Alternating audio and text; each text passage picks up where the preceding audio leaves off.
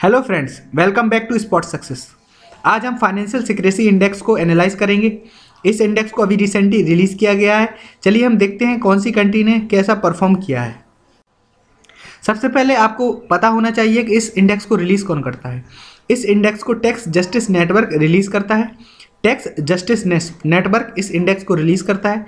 केमन island top position पर है, जो कि वेस्ट इंडीज़ या कैरेबियन आइलैंड का पार्ट है। और नॉर्थ अमेरिका कॉन्टिनेंट में इंक्लूड किया जाता है। सेकेंड पोजीशन पर यूनाइटेड स्टेट है और थर्ड पोजीशन पर स्विट्जरलैंड है। फाइनेंशियल सिक्रेसी या वित्तीय गोपनीयता होती क्या है फ्रेंड्स फाइनेंशियल सिक्रेसी एक्ट तब हो जाता है अगर कोई फाइनेंशियल इंफॉर्मेशन है और लॉ बुक्स में ऐसा लिखा गया है कि उसको शेयर करना चाहिए टैक्स अथॉरिटी के साथ पुलिस सर्विसेज़ के साथ या लेजिटिमेट अथॉरिटी के साथ। अगर ऐसा ना किया जाए तो वो फाइनेंशियल सिक्रेसी का एक्ट हो जाता है। फाइनेंशियल सिक्रेसी डिफरेंट होती है लेजिटमेट कॉन्फिडेंशियलिटी से फ्रेंड्स बैंक की नज़रिए से देखें तो वो लेजिटमेट कॉन्फिडेंशियलिटी के अंदर आता है। अगर बैंक किसी भी इंडिविजुअल की बैंक डिटेल्स को शेयर ना करे तो वो लेजिटमेट होता है।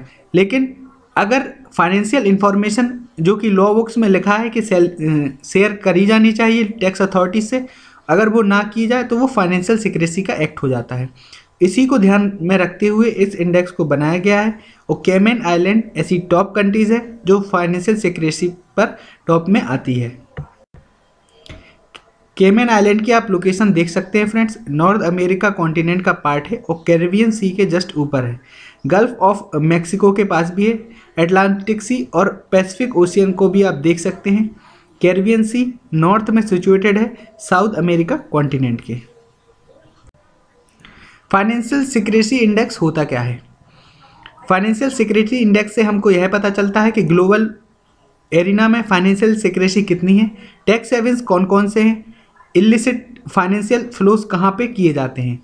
टैक्स सेविंग्स का मतलब होता है फ्रेंड्स जहाँ पर टैक्स की रेट बहुत कम होती है या ज़ीरो होती है।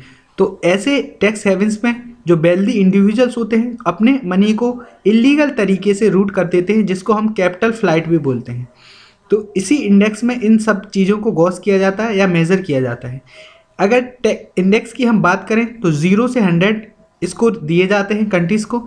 ज़ीरो का मतलब होता है नील फाइनेंशियल सिक्रेसी और हंड्रेड का मतलब होता है फुल फाइनेंशियल सिक्रेसी तो यह रैंक करता है कंट्रीज़ को कि उनके जो भी लीगल और फाइनेंशियल सिस्टम है, वो किस तरह से अलाउ करता है। वेल्दी इंडिविजुअल्स को या क्रिमिनल्स को कि अपनी जो मनी है, उसको हाइड करे, या जो ब्लैक मनी है, उसको वाइट मनी में कन्वर्ट करके रूट कर दे टैक्स हेवंस में।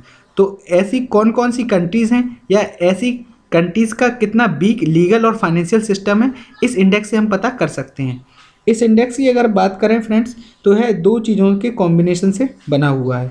सबसे पहले तो कंट्रीज़ का सिक्रेसी स्कोर इसमें देखा जाता है, गोपनीयता स्कोर कितना है कंट्रीज़ का।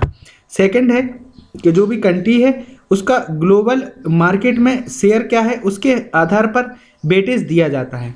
तो फाइनेंशियल सिक्रेसी इंडेक्स के बारे में हमने जाना।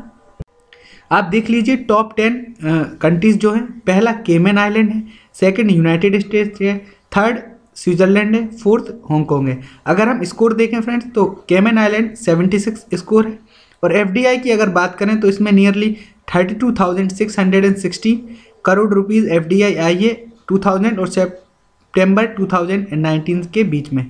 सेकंड नंबर पर यूनाइटेड स्टेट है। इसका सिक्रेसी स्कोर 63 है। आप टॉप टॉप थ्री कंट्री याद रख लीजिए फ्रेंड्स इंडिया टॉप टेन में नहीं आती है। तो हमारा एनालिसिस इस टॉपिक का समाप्त होता है friends thank you thank you very much for list